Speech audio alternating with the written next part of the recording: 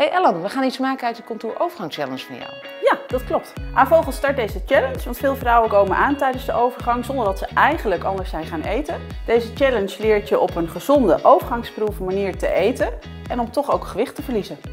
dat klinkt interessant. Daar wil ik wel meer van weten. Ja, daarom heb ik Hetty uitgenodigd. Zij is gezondheidsdeskundige en kan er meer over vertellen. Ellen, leuk dat je er bent. Kom verder.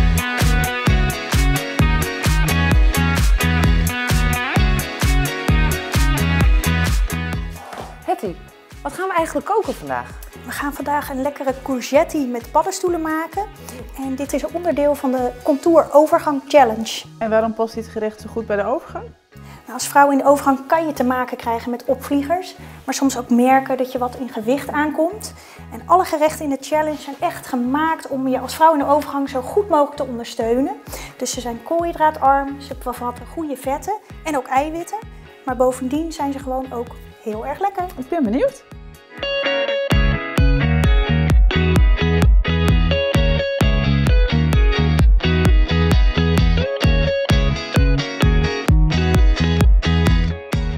Waarom heb je gekozen voor dit recept?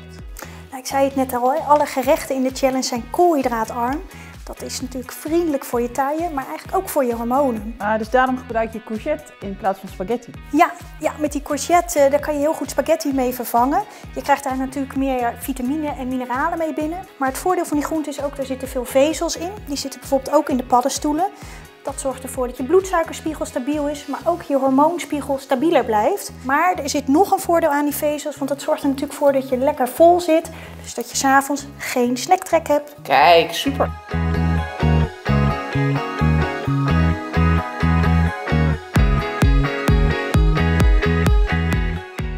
Dames, de finishing touch. Geniet ervan. Hey, geniet ervan.